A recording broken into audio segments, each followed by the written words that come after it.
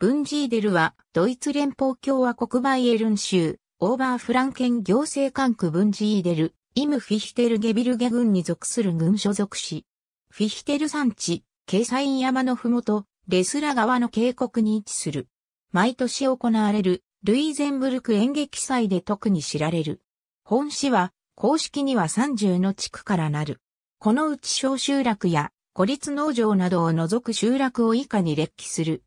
この集落は1163年に下級騎士のアーデルベルトゥスあるいはアルブレヒトの所在地として初めて文献に現れる。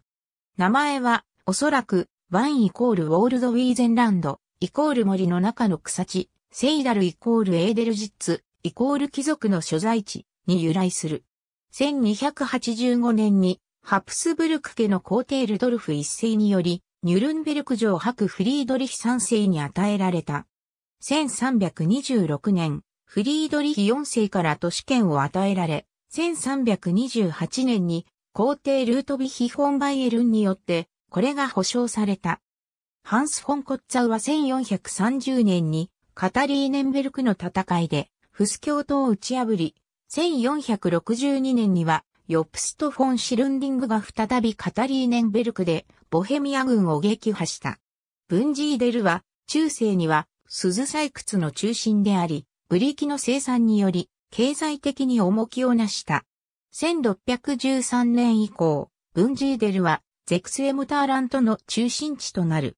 ブンジーデルの主席官僚は、ホーエンベルク、バイセンシュタット、キルヒエンラミッツ、ゼルプ及びティーエルシュタインの担当管理をその支配下に置いていた。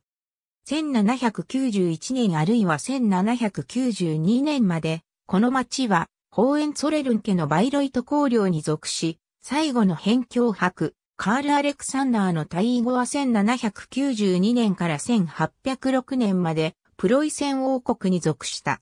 この公領は4年間ナポレオン軍の管理下に置かれた。あと1810年にバイエルン王国領となった。1476年、1547年、1607年、1636年、1644年、1657年、1731年と大火に見舞われ、その都度市街の一部に壊滅的な被害を受けた。1834年の最後の大火では、ブンジーデルノに山が破壊され、この町は古典主義風の外観を獲得することになった。ブンジーデルは1990年代から毎年8月にルドルフ・ヘスの墓所周辺でネオナチのパレードが行われることで全国的に知られている。バイエルン州の行政裁判所と連邦憲法裁判所が許容されるとの見解を示した記念パレードに2004年には約4500人の参加者があった。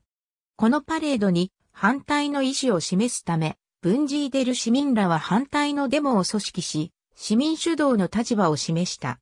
2005年のパレードは禁止され、バイロイト行政裁判所のこの決定は、バイエルン行政裁判所及び連邦憲法裁判所によって追認された。州機関として、軍庁、税務署、測量局、簡易裁判所、警察監査局がブンジーデルにある。フィヒテル産地ホールとフィヒテル産地スタジアムは地域外でもよく知られている。また、ユースホステルや市公営の青少年センターもある。